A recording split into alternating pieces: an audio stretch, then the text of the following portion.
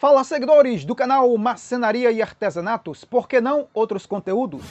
Para quem acompanhou ou não o conteúdo anterior, eu mostrei no passo a passo como fazer esta caixa em madeira para joias.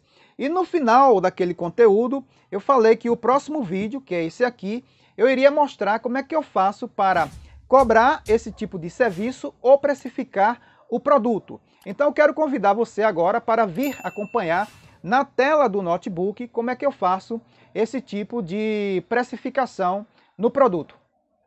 Agora pessoal, vou apresentar para você a planilha de custos que eu uso aqui na minha oficina para precificar os produtos que eu produzo nela e também para passar orçamento para o cliente. Eu vou baixar aqui ou subir, melhor falando, a planilha de custos para que você veja a estrutura dessa planilha aqui, ó. Ela se encerra aqui, né, porque não tem mais materiais para colocar dentro desses espaços aqui em branco. Ó. No momento que eu coloco aqui nessas células mais informações, a página ela vai crescendo, tá joia?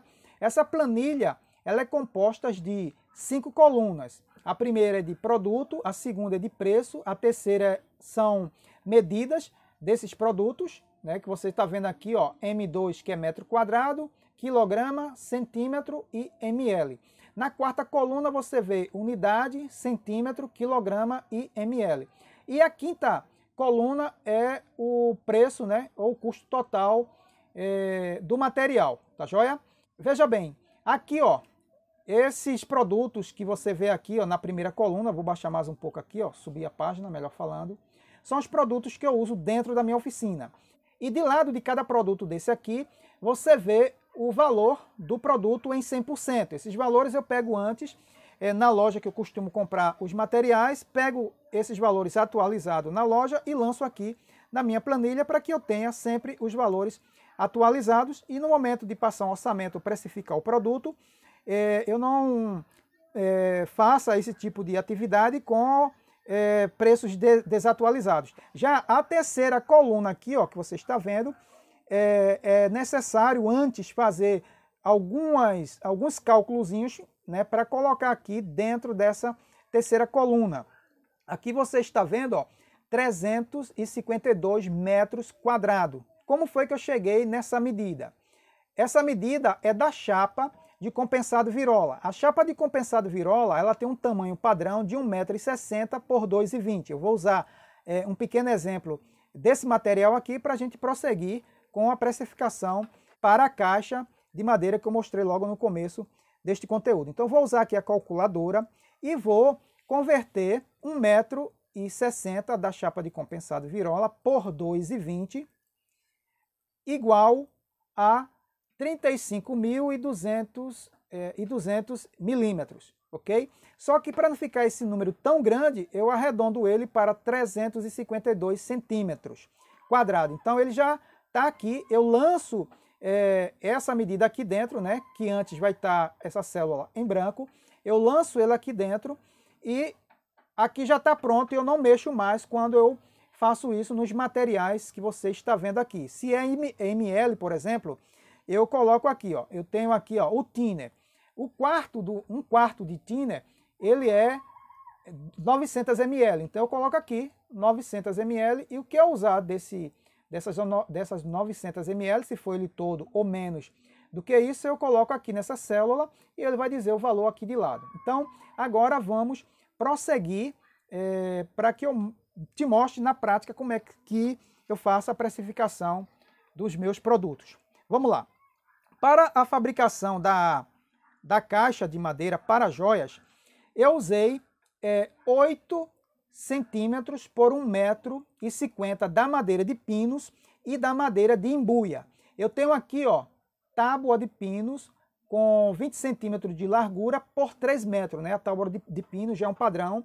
A largu, o que diferencia é a largura, mas o padrão dela é 3 metros no comprimento. A largura que varia, começa com 10, com 15, 20, vai até 30, tá joia? Então eu tenho aqui, ó, é, a tábua de pinos com largura de 20 centímetros por 3 metros, à vista custa R$ 33,00. Já converti essa medida de 20 centímetros por 3 metros e deu esse tamanho aqui, ó, que é 60 centímetros quadrados. Então, como eu vou usar 8 centímetros de largura por 1,50m dessa madeira, eu preciso antes converter essa medida para saber quantos centímetros quadrados vai dar, beleza? Então, vamos lá. Eu vou usar, é, coloca aqui 0,8 centímetros, desse jeito aqui, vezes 1,50m, igual a 12 centímetros quadrados. Então, eu vou colocar aqui, ó, 12 centímetros quadrados. Só que eu também vou precisar da mesma medida da madeira de embuia. Ela aqui, ó, tábua de embuia, de 20. Essa tábua eu já tinha aqui, ela tinha é, 20 centímetros de largura por 1,50m.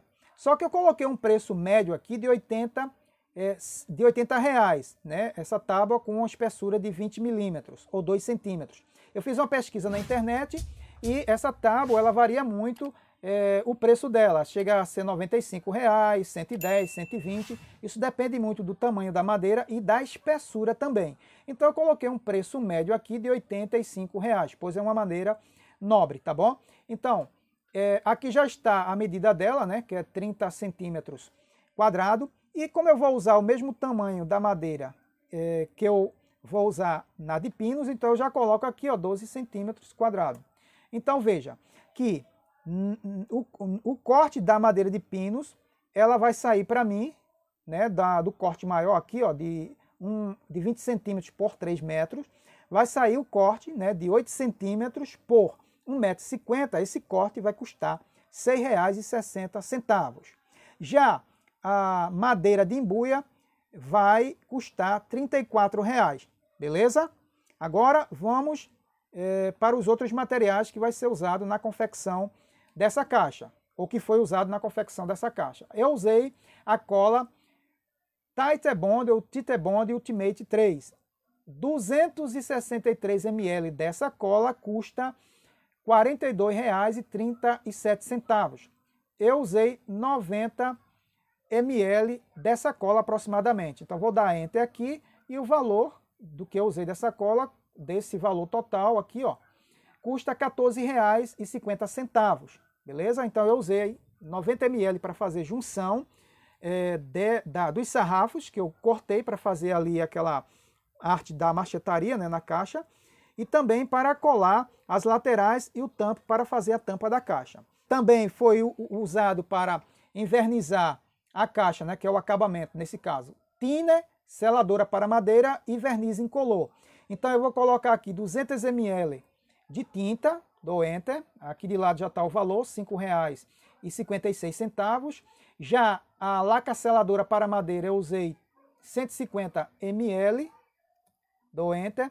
Custou 150 ml da laca seladora R$ 5,83. Já o verniz também usei 150 ml e custou R$ 6,25, é, 150 ml de 900 ml é, da, de um quarto né, desse verniz, beleza? Agora vamos para a lixa. Eu usei dois tipos de lixa, a lixa 280 e lixa de número 80. Cada lixa custa é, R$ reais. Então eu vou lançar aqui, ó, eu precisei de duas lixas, uma, uma de número 80 e uma de número 220. Então foram duas lixas, eu coloco aqui, ó, dois, dou Enter, e as duas lixas, duas lixas custaram R$ reais. Só que eu usei para acabamento é, ferragens niquelados, como dobradiças, fechos, é, pezinhos romanos né, e parafusos. Então vou colocar aqui, ó, aqui você vê pés romano é, niquelado, 4 unidades, é, 24 reais. Esse foi o preço da loja. Então, como eu usei é, 4 unidades, eu coloco aqui, ó, 4 unidades, perdão, deixa eu botar o número 4 aqui, dou Enter e custa R$ 24,00, beleza? Foram quatro que eu comprei. Já o fecho niquelado, R$ 8,50. Como eu usei uma unidade, dou Enter, vai custar o valor que eu comprei. Usei para fazer um acabamento interno papel camuça. E a unidade desse papel camuça custa R$ 1,10. Então eu usei duas folhas do papel camuça. Então vou colocar aqui duas unidades. Dou Enter e custa essas duas folhas R$ 2,20 aqui, ó, ok? Agora, é, eu precisei de 20 parafusos no tamanho de 2, de 2 milímetros e meio por 12 milímetros para é, fixar os pezinhos, é, o, o fecho e também as dobradiças. A caixa desses parafusos, com mil unidades, custa R$ 26,97. Só que eu precisei de 20 unidades. Então vou colocar aqui 20 unidades e vamos ver quanto custa essa, essa 20 unidades desses parafusos. Custa 54 centavos, ok? E usei também duas dobradiças. É, 10 dobradiças, né, um pacotinho que eu comprei com 10 unidades, custou R$ 14,50. Só que eu não usei as 10, né? Foi preciso só de duas dobradiças pequenas. Então eu coloco aqui duas unidades e essas duas unidades custou R$ 2,90. Por aqui se encerrou, deixa eu só olhar aqui direitinho para ver se não está faltando nada. Bem, não está faltando nada, esses foram os materiais que eu usei para a confecção da caixa. E agora eu vou te mostrar o valor final de venda desse produto. Ó. Então você tem aqui ó, o valor para venda R$ 292,94. Aqui em azul, acima dele, você vê é, R$ 172,32, que é a soma da matéria da matéria-prima mais o custo operacional, ok? E aqui, ó, acima é, desse valor aqui em azul, que você vê aqui, ó, margem de, é, margem de lucro, essa é minha margem de lucro, R$ 120,62, tá joia?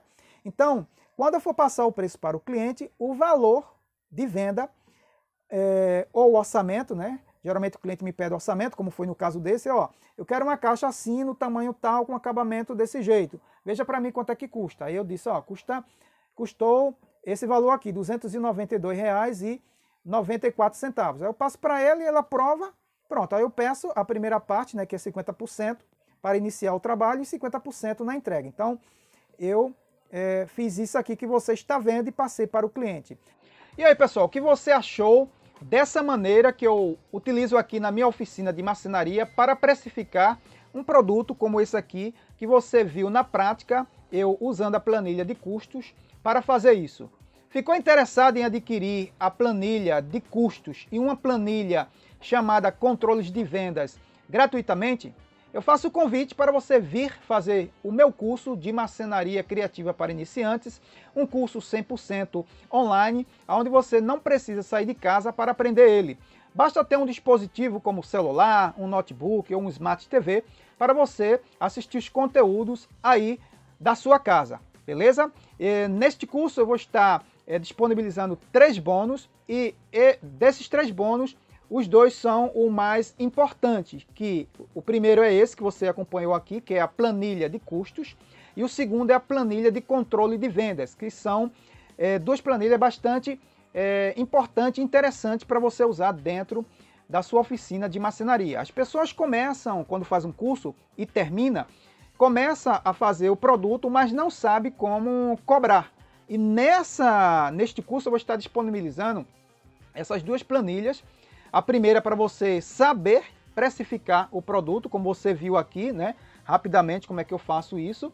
E você não errar no preço. E também você pode estar usando essa mesma planilha para passar um orçamento para o cliente. E dessa maneira você não erra e passa um preço justo, justo e você vai ter um lucro é, bom né, sem errar, beleza? Então, se você tem interesse em adquirir essas duas planilhas gratuitamente, eu faço o convite para você vir fazer este curso de marcenaria criativa para iniciantes. Os links estão disponíveis no primeiro comentário aqui deste conteúdo, está lá fixado, e também na descrição deste vídeo, tá bom?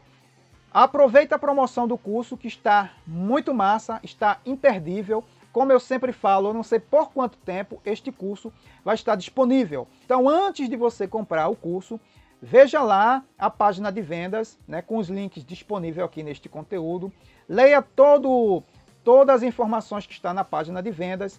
Primeiramente, assista o vídeo que está nessa página, onde eu falo um pouquinho, né, brevemente, da minha história, é, passando ali pelo artesanato até chegar na, na marcenaria criativa. É bem interessante você assistir esse vídeo, né?